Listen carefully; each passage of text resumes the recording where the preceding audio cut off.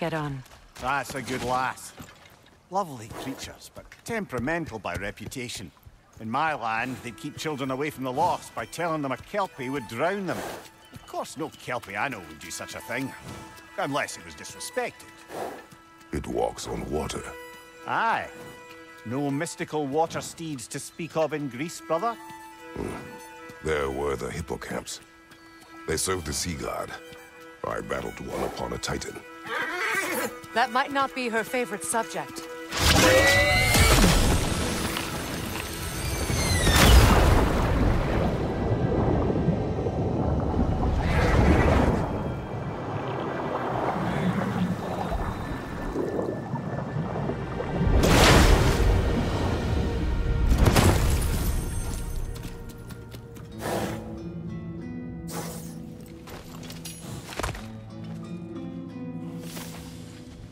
We're here.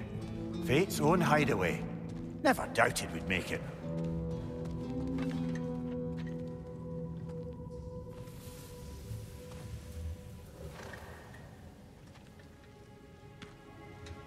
Kratos, Freya, and Mimir's head.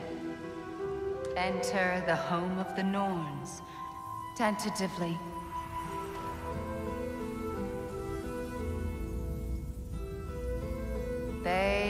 Finally reached their destination. Kratos speaks first. I, seek, my, son. You know the child is an Asgard. No, you seek what all who search for us seek. To know the ending to your story. The ghost of Sparta furrows his brow menacingly.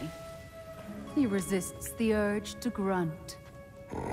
Oh, he fails. You come to us, piteous archetypes, seeking freedom from your scripts. As if knowing your lines would grant you the power to rewrite them. Speak plain. You will die, Kratos of Sparta.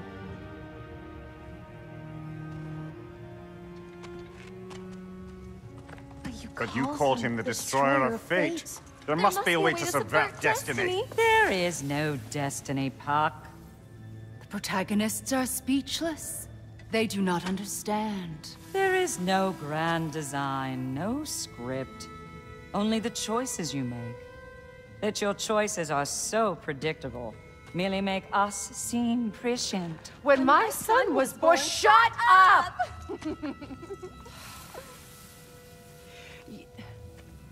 Your prophecy said he would die a needless death. And he did. Because you could not let him go. Because he thirsted for revenge. And because you kill gods. But what Kratos did, it was not out of hate. Should I bring him a crown then? He still slays gods, but now he's sad about it?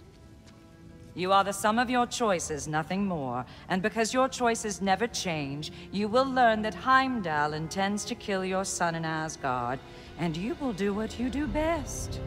And then Ragnarok. The skies burn, the curtains fall. Exeunt omnes. Heimdall.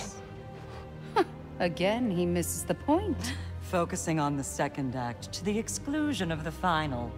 A common mistake in storycraft. We are leaving.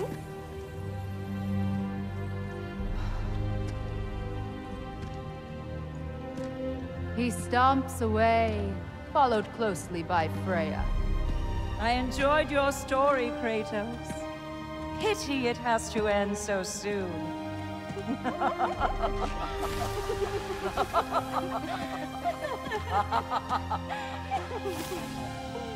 Well, that was educational. Hmm.